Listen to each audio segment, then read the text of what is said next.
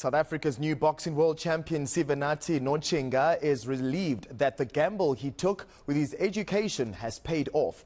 After finishing matric in 2016, the 23-year-old asked his parents to allow him to take a break from his studies to focus on boxing. Little did they know that six years later, he would become a world champion. Tshepo has more. Sivenathi Nontshinga's latest success proves he is the real deal.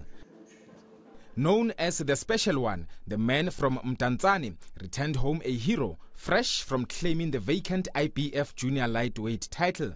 He defeated Mexican Hector Flores to claim the belt. I've sacrificed my education. I didn't go to school, you know. You see, like, um, like uh, kids you, you used to go to school with, they are graduating and you, you had that, you have that thing that feel that pressure that, ah, my mother said that I must go to school, but I didn't go, I chose to, to box. So it, it means a lot to me because it's, it's all the time, all the hard work of the previous years till now, this is it, it finally pays off. Oh, I'm so happy that he won the title. Sivenathi Nontshinga is a young promising boxer. I think oh, he's still going far with boxing.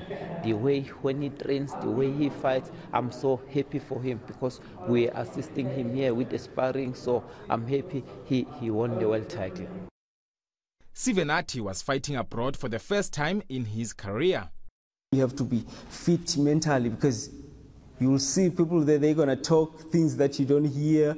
Some of them, when you, when you come to the dressing room, going to the ring, they're going to boo you like boo. So you need to be prepared for all of the things. So yeah, it was just a great experience because I learned a lot.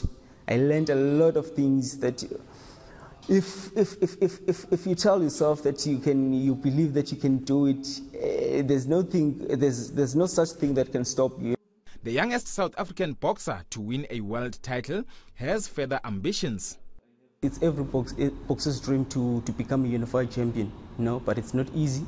But uh, for now, I'm going to sit down with my manager and then we'll, we'll, we'll see uh, where to go from, from here, you know. Uh, I, and I believe uh, now uh, I have to take this moment and just enjoy being like a young world champion.